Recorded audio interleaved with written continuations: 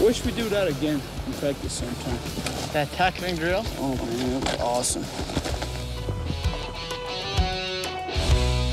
When are you going on a date? When she comes home, When is that? Monday. Monday, really? Yeah.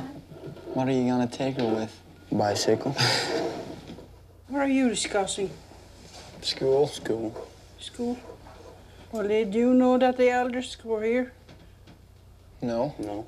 Then I'm in trouble. They told Uncle John that no more playing football Are you kidding me? and no more school. Nowadays, you need an education, Mom. I hope you understand that. I know, I know. And I want you to have this education in the worst way. They told me if I let you go to school, I'm no member of the colony anymore.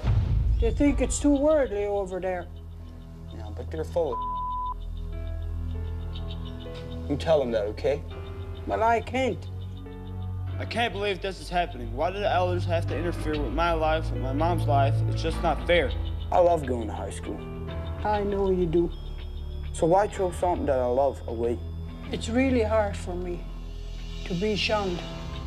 It just breaks my heart. I don't know what to think right now. I'm kind of shocked that the elders are so mad. I'd love you to go to school, but what's gonna happen to me? The last thing I want to do is causing my mom pain.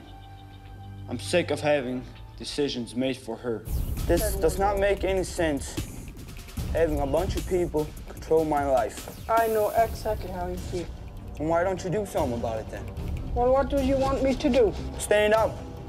Say something. I did already. They weren't listening, were they, huh? No. Well, you two got me in the middle. I don't know which way to turn. They have too much power.